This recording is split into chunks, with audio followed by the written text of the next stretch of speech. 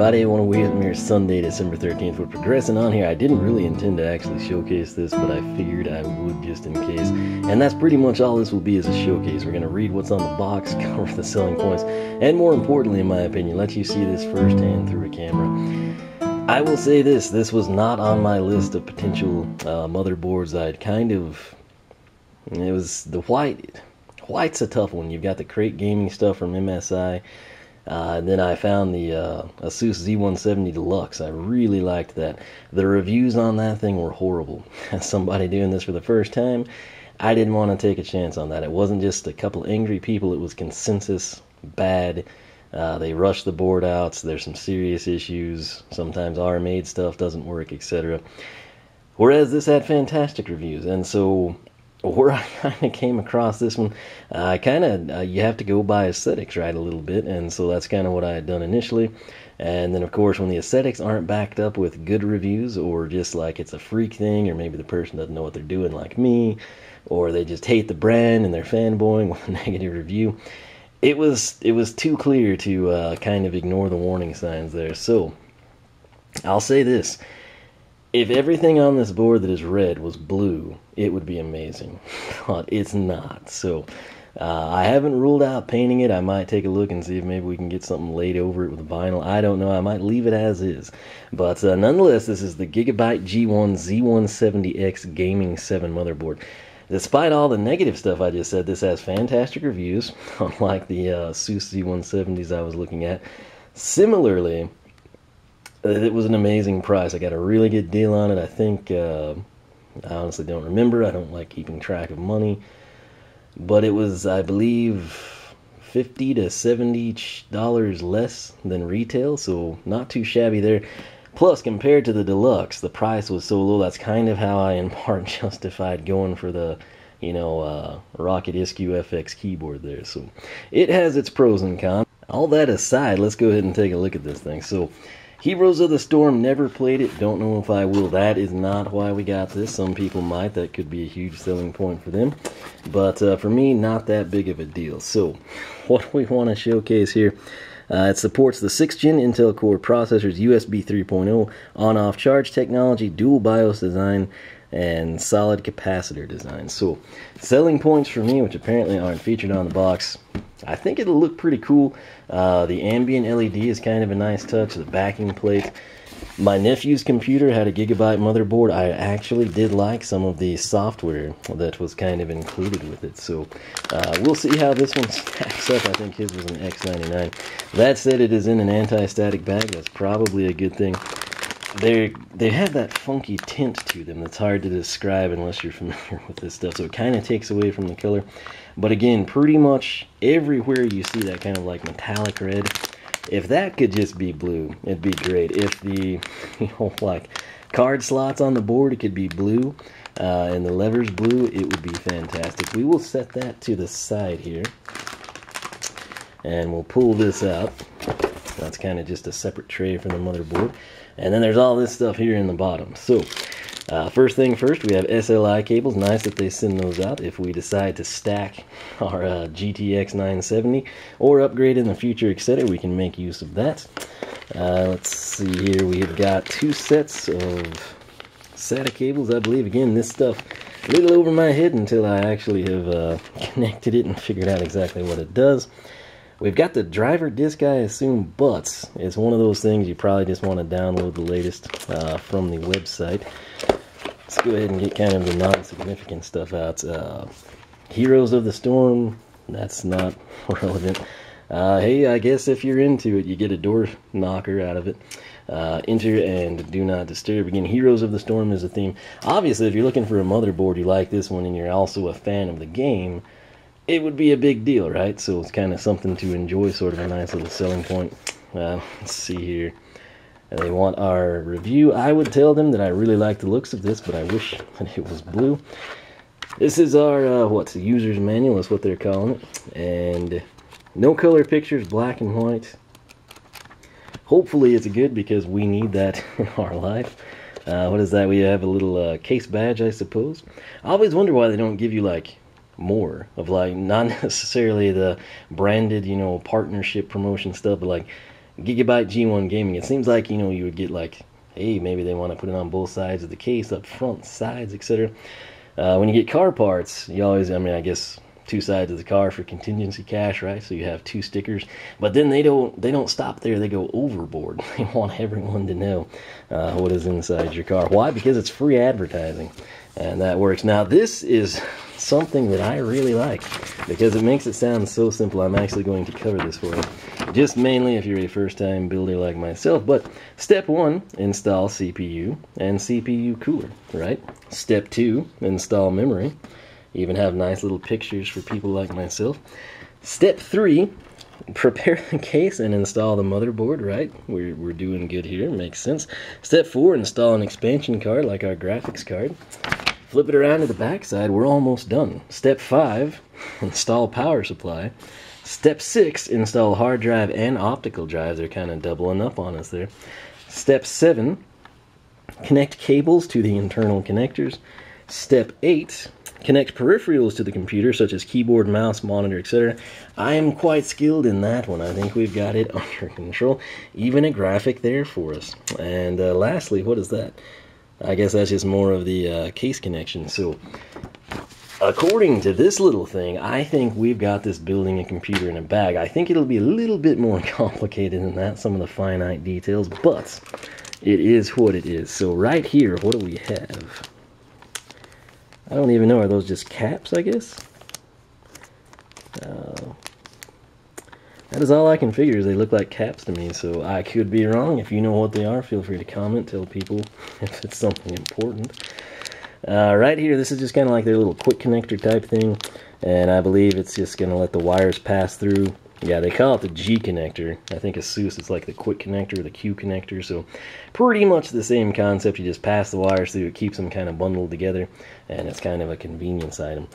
Now right here, some of the black and white boards have horrible I.O. shields. So uh, that's interesting. This one doesn't look too bad. Plus, if you did not know, if you think, whoa, whoa, whoa, there should not be wires there, what are you getting into? That's actually going to be for the LED backlight, which again, my nephew's computer has this on his motherboard too, and it's actually nice because you can see. So, uh, usually, you know, you got the computer kind of on display, but the back is usually against the wall, right under a desk somewhere, wherever it might be, cubicle, who knows what you're doing. It's such a pain. So many times when I go back there installing stuff or, you know, switching out peripherals, something along those lines, having to use a USB in the back. I wind up having to use my cell phone as a light, you know, and then crawl around and try to see where you want to put it. This makes it nice, it's classy, and uh, it might actually look decent in our case. So uh, we've got that to look forward to. The box we're going to keep because all the videos I watched in attempts to teach myself to build a computer, people say that's a great work spot and you're not going to have the static conductivity. So I'll stick with that. And uh, if they're wrong, we'll, I guess, go rage in the comment section. So there's that. Uh, again, their manual. Those are our big deals. It does have the uh, two cables, the G connector, as they call it. I'm okay with that name. And the SLI bridge, if we're so inclined. Now, the main thing, though, that you ought to take from this, they've really not done anything. I can't believe the box doesn't sell this better. But uh, anyway, does it really not? Okay, it's on the bottom, isn't it? Is that what we did wrong? It was stupid. I was gonna say this is just retarded because they should really promote this thing better. So there we go. Why did I just now realize this? All right, so this is good because now then you can just look at it when we're done. All right, one of the big things for me since I was going Skylake, kind of taking this forward step, not going back and being content there, which is probably advisable for someone in my position. Uh, the Type C USB, that's going to be a big deal when I eventually do replace my ancient cell phone, I'm going to be stepping up something that has Type-C. So uh, it'll be good to have something on board. Eventually, the price for the carded uh, expansions will drop down. We'll be good there. That's kind of a sample of the I.O. Shield Z170 gaming specs. Uh, CPU support again 6th gen Intel Core. CPU socket LGA 1151. Chipset will be the Intel Z170. Uh, graphics interface 1 PCIe 3.0 x 16 blah blah blah. Again, some of that over my head, so check the website, look at the screen, whatever you need to do. Uh, there's HDMI and DisplayPort. Two channel DDR4 is supported, memory DIMM, uh, four DDR4 expansion slots. We've got three PCIe 3.0, uh, SATA connectors, three SATA Express, eight SATA 3, uh, two M2, which I might look into that in the future. Uh, SATA RAID, you've got RAID 0, 1, 5, and 10. Again, a bit above my scope of understanding. USB, hopefully we don't need to know that. Big thing here, though, and I think something everyone can relate to at least a little bit, two USB 3.1. Uh, very cool there, one USB Type-C, uh, plus 9 USB 3.0, 4 USB 2.0. Audio is Creative Sound Core 3D. I've read good things about it. Uh, our LAN is going to be the dual GBE LAN plus Killer plus Intel form factor ATX. So uh, that's that's pretty much that. There's a little snippet on the Creative Sound Core. that is 3D, right? Quad Core Audio SBX Pro Studio Audio Suite. Hopefully that'll be fun to play around with and functional in the future. Amp up audio technology with high-end components, like high-end component components design audio components design. Hmm, I think I would have not made that plural, but whatever. Right here, that trace path you see, that's going to be our LED trace path. Again, I believe there's, what, one, two, three, four, seven preset colors, so something we can work with there. Uh, USB DAC up. Again, I don't know, DAC, whatever. Uh, that is above and beyond me. Long life Durable Black solid capacitors, dual PCI Gen 3X4M2, uh, built-in advanced performance tuning, uh, tuning, and lastly, uh, we have got the exclusive ultra durable PCIe metal shielding. So that'll be nice, particularly if you install a heavy card. So uh, anything else here? Well, that's a good look at the motherboard, although it's hard to showcase it, but you get a feel for the aesthetics there. Now let's take a look at them in real life. Once again, my apologies if I can't explain this up to what you need. Most people probably know this. If you're watching this and you don't know it, you're in my position, and what I can offer you is the packaging and the aesthetics of the board itself. So I guess we should check. There goes the knife. and, uh, all right, so there is, it's a good thing we didn't cut into this because it's taped on the back side, right?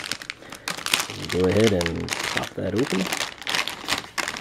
See if we can grab that just by the shield. All right, here we go. So, there we have it, kind of out of the packaging. It looks pretty good. Again, I don't like the color gold, and I'm not a huge fan of red. Uh, so again, if you took everything that is red on this board and replaced it with blue of a similar hue, uh, I would be ecstatic about this thing. As is, I'm not sure how much of this is actually going to show up, so it's not too big of a deal. In terms of the technical stuff, me, me walking you through all this, I, I I'm not going to waste your time. We might be able to pull it off, but we might not. And I would rather just not run the risk of looking like more of an idiot. So uh, take from it what you will. we won't go from there. So uh, it's not a shabby looking board, really, especially now if you were going for like a white and red build, this would be killer. Uh, again, personally, I kind of had my heart set on blue and uh, blue and white, and apparently no one seems to think that's a great idea. So, um, is what it is. Now, I think I could actually recolor this if I wanted to, but I don't know if it's worth the time. In part, I'm not sure how much of it will actually show up. So, uh, coming around this direction, we can hold the board by the sides only. Gives you a feel for the back I.O. Again, keep in mind, uh, the shield will be there, to kind of cover up our blank space, plus it will be an LED backlight. So, uh, there we are. There's kind of our fancy audio connectors, gold plated. It's usually a sign of quality. That right there in the bottom, kind of coming up, that is the Type C. Uh, if you're planning on picking up a new phone anytime in the future, uh, it's probably going to have that type of connector. It's universal, uh, unlike traditional USBs, where if you try to plug it in, you'll have to flip it because it wasn't oriented correctly and then you go try to plug it in another slot and that USB is flipped and you always have to swap them you know upside and downside etc that's kind of like a lightning connector. It just goes in one way and it doesn't care. So that's sort of the perk there. But uh, that is about it. Again note PS2 and we have our DisplayPort stuff as well. So what we're gonna do is that is about all we can do. Again, I'm kind of the type I have to rely on a box to sort of tell you what you need to know, and so that's what we will go with. But the main thing here is just getting a look at it. In person through a camera might help people out and uh, that'll be probably the biggest selling point there. So uh, once again I covered at the start of the video don't quite exactly uh, be able to relay and convey information about this board as well as many other people.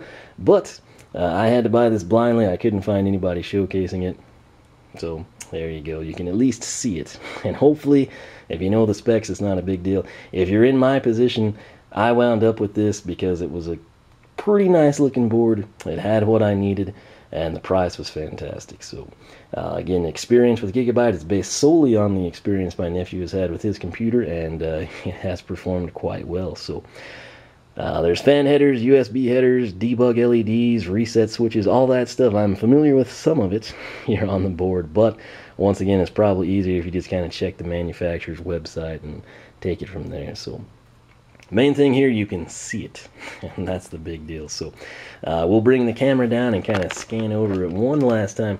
Hopefully this helps you out. That's kind of the deal here. Again, I am a first-time builder. That's why I don't quite be able to process all of this information for you. Uh, with any sort of, you know, experience or, you know, uh, thorough understanding, if you will. But uh, I'm in this kind of for the fun. I think it'll be something neat to do, and uh, hopefully we get something functional that will last us for a long time. And again, if you're kind of in the position I'm in, you're probably kind of in the same position, not quite the uh, expertise you would like, but you do understand aesthetics, and that's what we kind of want to spend some time on here. Just let you get a good look at it. Pretty decent lighting here, I would say, and it sort of brings out pretty much uh, verbatim what you see in the board. So that's it. I'll quit rambling. Hopefully this does help you out. Again, pretty impressive in person. And uh, my only concern, obviously, I would prefer everything red-blue. But as I was researching, by the time you get a giant cooler on here and it's hung up in the chassis, I don't know how much of the red we'll actually see, so we'll kind of monitor that. And if it's objectionable, we might take it out and try to, you know, just kind of throw down some new graphics or paint it. But uh, otherwise, we'll probably leave it as is, or maybe we'll just go with red, white, and blue. Yeah, make it the Captain America computer or something. So that said, again, hope this helps you out, and I will catch you back here for more as we check out the components and attempt to uh, piece together our first computer build. So stay tuned.